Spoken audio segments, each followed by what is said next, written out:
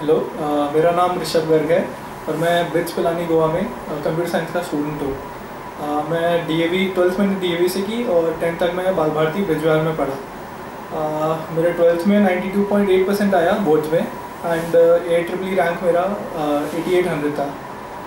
Are N classes मेरे लिए बहुत ही अच्छा एक्सपीरियंस रहा एंड uh, मुझे नहीं लगता मुझे इससे ज़्यादा अच्छा कोई कोचिंग दे सकता था क्योंकि यहाँ पे हेल्थ भी मेरी बहुत अच्छी रही, मेरा माइंड भी बहुत अच्छा रहा और योगा की वजह से कभी मैं दो साल में कभी भी बीमार नहीं पड़ा और जितना महेश सर और हरीश सर हमें पर्सनल अटेंशन देते थे तो कोई भी अगर हमें प्रॉब्लम हुई, हम आपस में पहले सॉल्व करके देखते थे और अगर नहीं होती थी, उसके बाद जाके हम महेश सर और हरी सर से पूछते थे तो हमेशा हमें आंसर मिला है उस चीज़ का और बहुत बार होता है कि एक साल एलेवेंथ से ट्वेल्थ ख़त्म हो गई और झील बच्चों की धीरे धीरे कम होती जाती है कि इतना टाइम हो गया हमें पढ़ते हुए, हमें और नहीं पढ़ना है।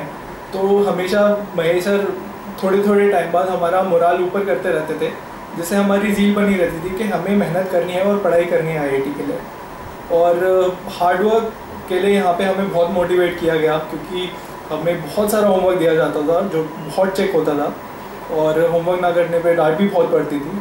तो यहाँ पे हमसे मेहनत भी बहुत करवाई गई है, जिसका रिज़ल्ट ऑब्वियसली अब दिख रहा है क्योंकि हम बिच में बैठे हैं और मेरा दोस्त विपुल है, वो भी बिच में है और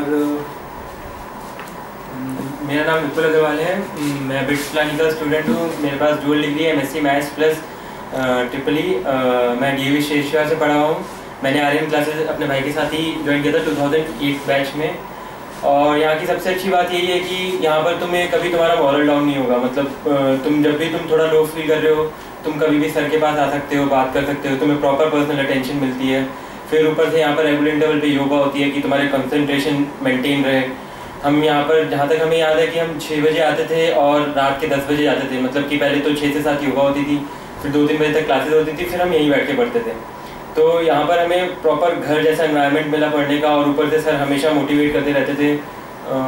और मतलब यहाँ पर आने के बाद अगर बच्चा पढ़ता नहीं है तो वो भी पढ़ने लग जाता है। मतलब मेरा ऐसा है, जब तक मेरे को कोई डंडा नहीं मारेगा, मैं पढ़ूँगा नहीं। तो फिर यहाँ पर आके वो सर ने सारी चीज़ें देखी मतलब एक दो बार मुझे बहुत डांटा भी, पर इन दी एंड मेरा अच्छी जगह एडमिशन हो गया और मैं सीरियसली आर क्लासेस को थैंक्स करना चाहता हूँ उसके लिए। एक चीज़ मैं बोलना चाहूँगा। अच्छे स्टूडेंट के लिए कोई कोई भी जगह पे पढ़ सकता है वो।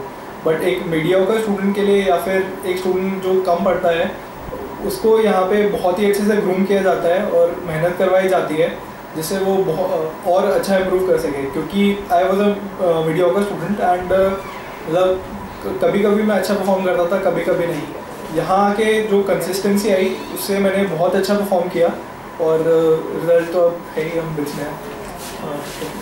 you.